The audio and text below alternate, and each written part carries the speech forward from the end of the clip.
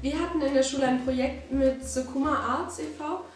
und in dem haben wir uns mit nachhaltigen Klamotten beschäftigt und dieses Projekt haben wir jetzt fortgeführt und Charlotte hat sich für uns mit dem Thema weiterhin befasst.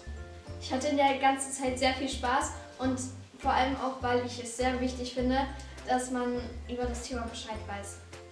Als erstes haben wir uns Gedanken darüber gemacht, was alles zu dem Thema nachhaltige Klamotten gehört. Zu dem Thema gehört unserer Meinung nach, dass man sich zuerst bewusst wird, wie viele Sachen man in seinem Kleiderschrank hat und ja. Ich bin zu einem Laden gegangen und habe die Besitzerin gefragt, wie ihre Sachen hergestellt werden. Und danach hat Charlotte sich am Upcycling versucht.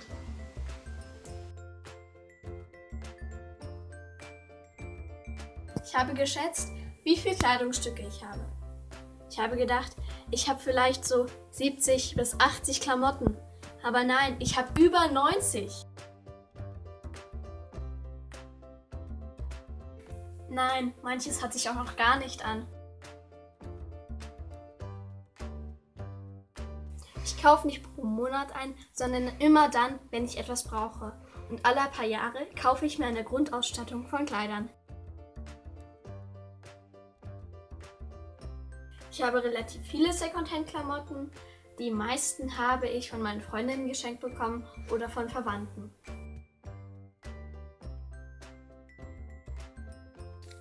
Ich würde so sagen anderthalb bis zwei Jahre. Also ich behalte sie schon wirklich lange.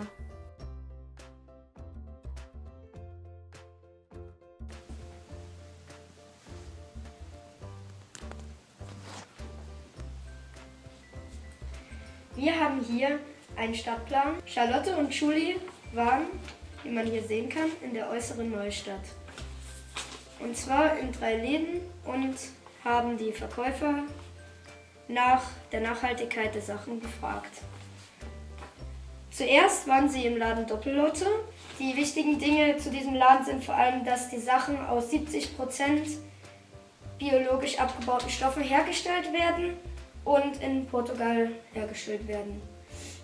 Danach waren sie bei Instincts Family. Das ist hier. Da ist vor allem wichtig, was man vielleicht auch nicht gedacht hätte, dass sie keine Kinderarbeit benutzen. Und als drittes waren sie im Unipolarladen und dazu gibt es jetzt ein Interview.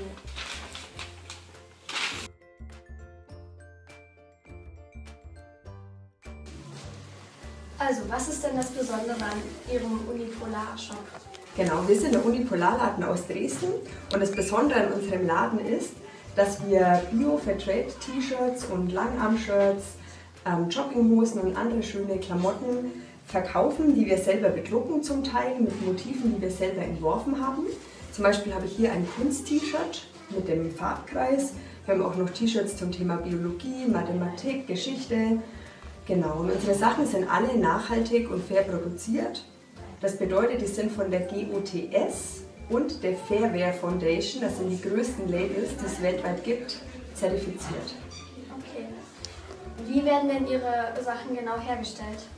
Genau, unsere Kleidung ist hauptsächlich aus 100% Bio-Baumwolle und wir haben auch noch Kleidungsstücke aus 100% Eukalyptusfasern und Buchefasern. Und die Kleidung wird in Bangladesch produziert, trotz alledessen. Es gibt in Bangladesch einige Fabriken, die streng zertifiziert sind und in denen sauber gearbeitet wird. Und in einer Fabrik lassen wir quasi produzieren. Okay. Wissen Sie, wie viel die Arbeiter in Lohn bekommen? Das kann ich Ihnen nicht genau sagen, aber die Fairware Foundation, die ist quasi dafür verantwortlich, dass diese Richtlinien eingehalten werden, weil es geht ja nicht nur um den Verdienst, was die bekommen, sondern es geht ja auch um Sozialversicherung, um Krankenversicherung, es geht um soziale Projekte, die halt auch gefördert werden müssen oder dass die Arbeiter sich versammeln dürfen und auch eine Gewerkschaft bilden dürfen. Dafür setzt sich die Fairware Foundation ein. Okay, danke schön für das Interview. Gerne.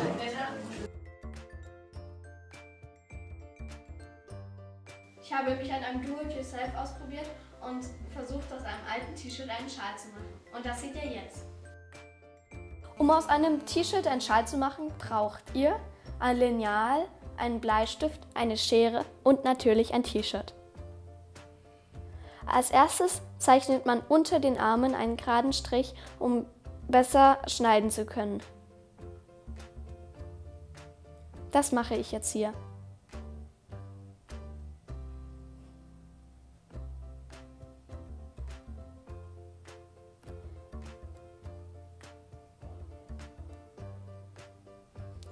Dann nimmt man sich die Schere und schneidet den geraden Strich entlang den Pulli ab.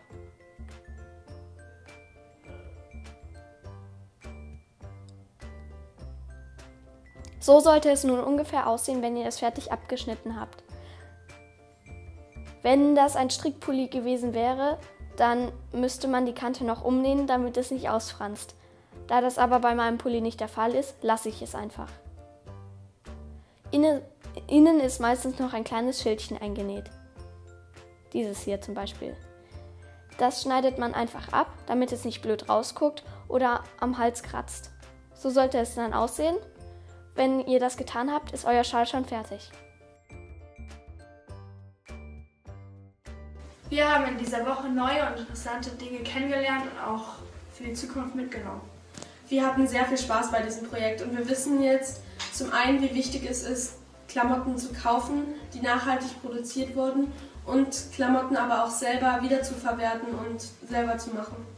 Wir werden in Zukunft mehr darauf achten, die Klamotten länger zu behalten und anschließend nicht in den Müll zu werfen, sondern sie einfach weiterzugeben.